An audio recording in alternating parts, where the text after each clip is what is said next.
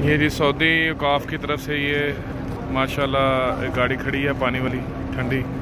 पूरे आदमियों को पानी दे रहे हैं, ठंडा ये आप देख रहे हैं। तो पीछे बहुत रश है। ये बिल्कुल जो है वो ये सफ़ा टावर है, सफ़ा टावर के पास गाड़ी खड़ी जिस जिस एरिए में है, वहाँ पे अलहमदिल्ला ये पानी दिया जा रहा है। बड़ी एक अच्छी सहूलत है। ये रोज़ाना हर नमाज़ के बाद तकरीबन पानी दिया जाता है ठंडा। ये मक्का के कबूतर देख लिया माशाल्लाह। क्या बात।